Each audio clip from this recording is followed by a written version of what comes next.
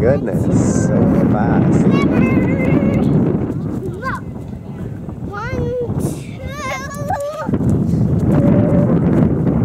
That's a lot of energy.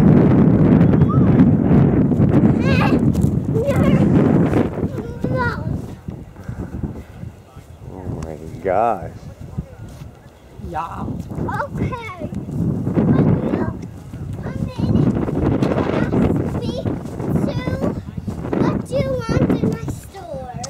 Oh, um, hello, Miss Artemis. Good, good, good morning. Um, what do you want in my store? Uh, I wonder if you have some uh, guacamole with uh, pita chips. We don't have it. Oh, Well, you can go to that store and ask Mr. Eagle to tell you where's the other store that has avocado. Do you want some crepes? Grapes would be great. Thank you. Yeah, I, I think the other store doesn't have fresh food. I, think prefer your does. store. Let me ask Some grapes would be great. Mr. Eagle, does that have fresh food?